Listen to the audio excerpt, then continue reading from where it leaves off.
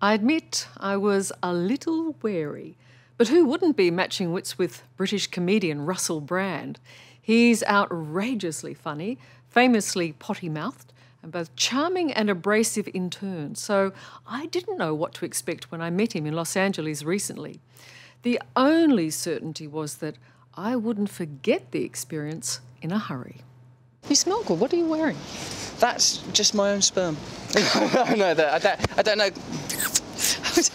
Uh, it's like coconut stuff, thanks to the coconut. it works a treat. Yep, this is Russell Brand. Are you known for being a kinky woman in Australia? No, not for my kinkiness, no.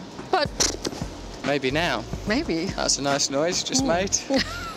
the outrageous British comedian whose wild antics have taken him all the way to the studios of Hollywood. what is? Is this the interview now? This is. You're just going to lean in. That's how it indicates the commencement. What is? what is a nice English boy like you doing in a place like Hollywood? Well, a lot of yoga, occasionally making films, making television. But it was a place that I don't think you ever thought you would get to. Like, do you just mean because of criminal convictions and stuff? Perhaps. And I'd like to remind you, before you go any further, on that subject, that you are Australian. That's right. Ladies and gentlemen, Mr. Russell Brand! At 37, Russell Brand, a former heroin and sex addict and recovering alcoholic, has enjoyed extraordinary success. Thank you, thank you very much. No, cheers. As a stand up comedian, my personality doesn't work without fame. without fame, this haircut just looks like mental illness. A Hollywood actor. Sometimes I think that I was Frank Sinatra in a past life, even though I was born before he died. And lo and behold, a singer at the spectacular closing ceremony of the London Olympics.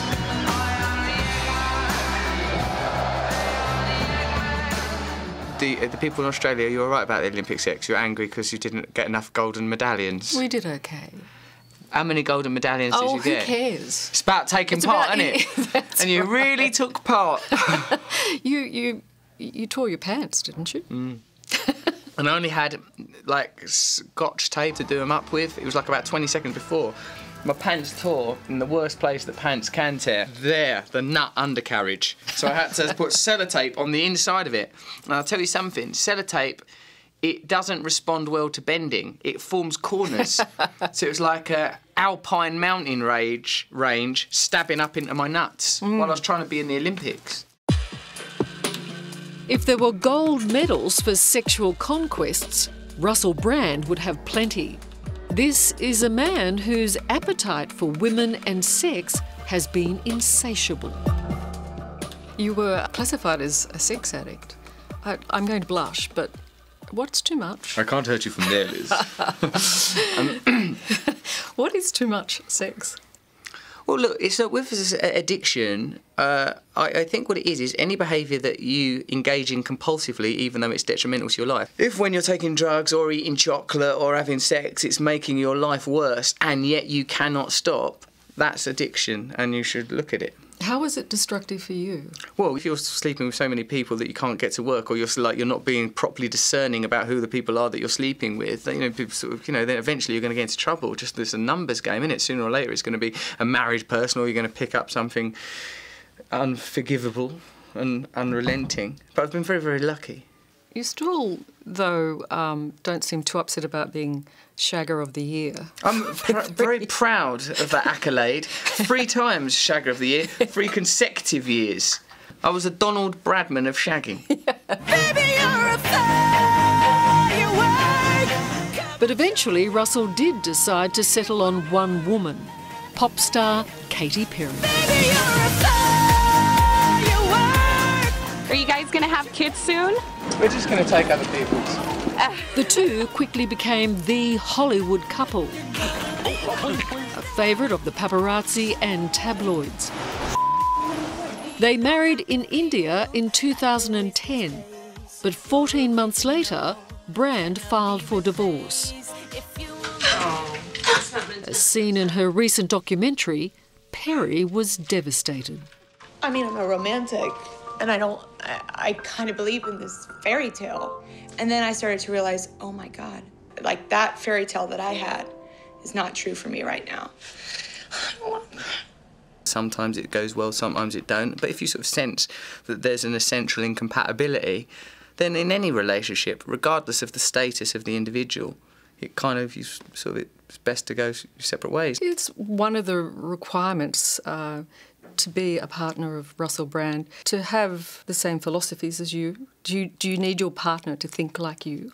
I don't know really, because I sort of find so many different people interesting. I think if you're like someone who's really into mountain biking, it'd be good to go out with someone else who's really into mountain biking. And if you're really into sort of Eastern mysticism, go out with someone else who's really into Eastern mysticism. I think if you're a devoted tennis professional and you get married to a, a crystal meth addict, you might have trouble. I've been in a lot of trouble. the worst driver. I keep getting in trouble. The police keep getting involved in my driving. That's oh. it's not good. God, Anyone will tell you. if I hang on to you, it's because But look, I I've don't even know how this choice. works. You hang on to me. Oh, okay, done. Stepping into Russell's world was always going to be interesting. Russell, you are a naughty boy. Oh, yeah, yeah, I am. What's supposed to be a nice little tour of the Warner Brothers backlot quickly turns into Russell Brand madness. There's a tape here, but what happens if you drive through it? We break through barriers, None of this is real. speed past studios Like the Australians. and tourists. 60 minutes. Are you all Australian? What's in there?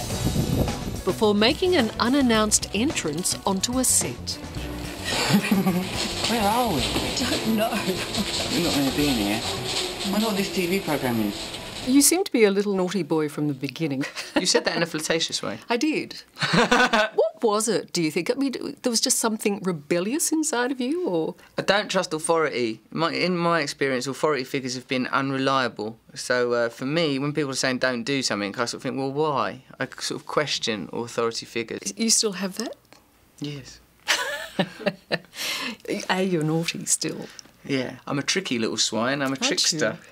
I'm a raven. I'm a playful coyote, looking for mischief. In the early days, there wasn't much for Russell to laugh about. He grew up in working class Britain, the only child in a family that fractured when he was just six months old. Complete nudity has got to be worth, I'm thinking, a cauliflower because I've got. Always a showman, he soon found an audience in comedy. I don't like Google's attitude in general. Actually, like if you make one little spelling mistake, didn't you mean? In like sarcastic italics. Are you an actor or are you a comedian? Comedian. That's, yeah, comedian. that's what gives you pure joy, first up. Acting's like a job. I, li- I like it. It's really nice. You get to work with nice people. But comedy is what I do. And is is comedy something that saved you? Do you think when you were a kid? When Yeah. that's where it's all come from. I do think that, Liz. I think it formed a barrier between me and the unbearable pain of being alive. We're both watching it and doing it. It's the most important thing to me. I remember that fact.